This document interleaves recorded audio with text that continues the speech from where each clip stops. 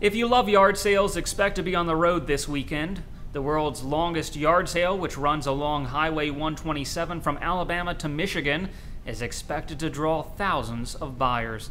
This is the Super Bowl of the garage sales. If you enjoy this kind of stuff, it's the place to be. Anything and everything.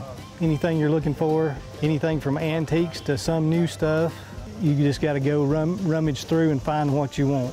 Everybody's got different stuff, no really rhyme or reason. You just have to go through and find kind of a rummage hunt.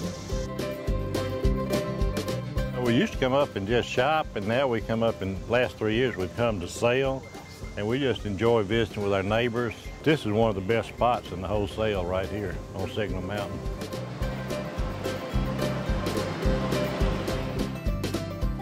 I think it's just the idea of finding um, a treasure. You know, they, they come out and they, they want to go through and find find a treasure and find something that they really want. So, and from Thursday to Sunday, we probably have maybe 4,000 people come through our booth. Uh, a lot of people use their vacations for once a year and they come out and this is what they like to do. They just like to go through and look at this stuff.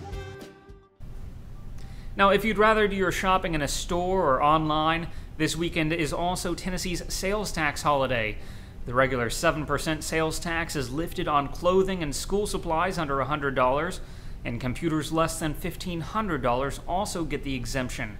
Hamilton Place Mall is extending its hours for the weekend, staying open as late as 10 p.m. today and Saturday, and 7 p.m. on Sunday. And if you already have weekend plans, fret not. Georgia's sales tax holiday is coming up next weekend.